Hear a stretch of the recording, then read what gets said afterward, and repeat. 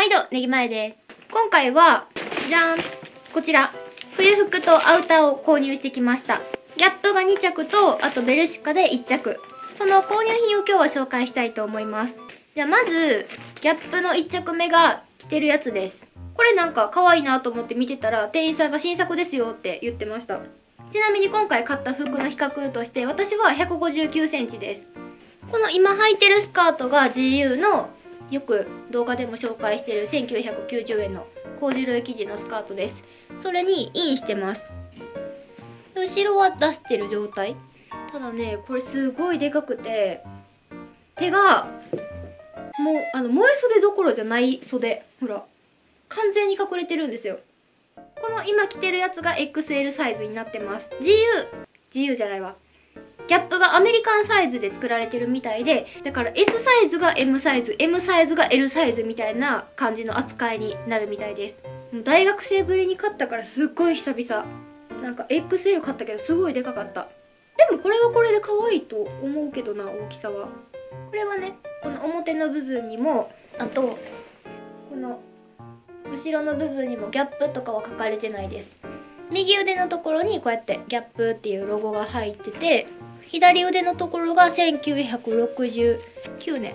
6月9日私の誕生日。パッと見ギャップって分かりづらい感じのデザインになってます。1着目はね。これが、えっと、5900円からの40%オフからの会員の10%オフで実質上半額みたいな感じで買いました。なんかでもギャップって常に安くセールしてるイメージがある。2着目がこちらです。こっち一回着てみます。今着てるのが L サイズです。はい。これが L サイズです。で、さっきの方が生地が分厚いので、あったかさがね、全然やっぱ違う。これももちろん中のこの生地の手触りがすごいいいんですよ。薄いけどふわふわしてる。だからこっちと比べるとは薄くなっちゃうけど、これもこれですごい可愛い。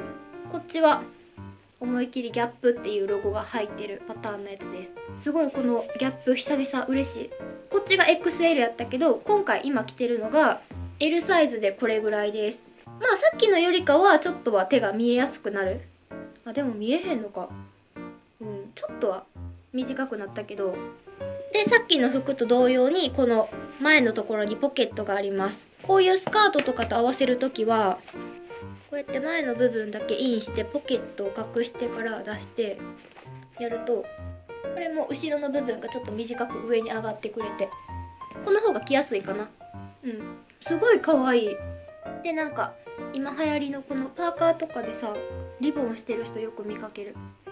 ちょっと汚いけどこんな感じになりました。これもフードがついてます。そして次にこちらのベルシュカで購入してきたアウターです。これがねすごい気に入ってるんですよ。じゃーん。ほら可愛くないですか？シャカシャカ言う見たことないけどベイマックスの黒版みたいな感じ。この襟の部分のところにはこうやって英語が書かれてます。ここがすごいごつくなってるからフードは出さん方がいいかも。直しといて前も閉めてみよう。あでもどうやろう。太って見えるな。これはワンサイズのみでこうこういう感じになってました。安いけどそこからさらに4890円のワンサイズ。これ S サイズってことかな？わからんけど。で S サイズなんですけど私159センチでも全然でかいぐらい。中にニットとかも着る余裕はありそうなぐらい大きいんですよ。でもニットと合わせたらさらにごつくなりそうかな。結構私肩幅あるからどうやろう。まあこういう薄めのパーカーとかなら全然中に着ても支障は出ない。この左腕のところにこういうデザインっていうかながあります。右は何もない。後ろも何もないです。まあ、ちょっとごつく見えるけど下とかをすっきりしたスカートとかパンツに合わせるといいかもしれないです。これがなんかもう一目惚れしてすぐに買いました。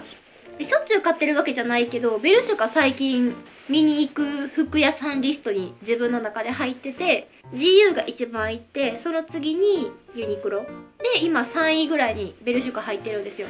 個人的に。でもほとんどもう GU 一式コーデになってるけど。今年はこれとこれとあとはもう去年からずっと着てるやつとかあと45年ぐらいかなずっと着てるものがあってすごいあったかくてまだ着れると思って捨てれないんですよ。というわけで以上の3着が今回の購入品です。これほんまにあったかい。じゃあちょっとネギマは泣いておりますか。これからまた動画とかでもしょっちゅうこのパーカーとか着ると思うのでよろしくお願いします。というわけで皆さん今回もご視聴ありがとうございました。次回の動画でお会いしましょう。毎度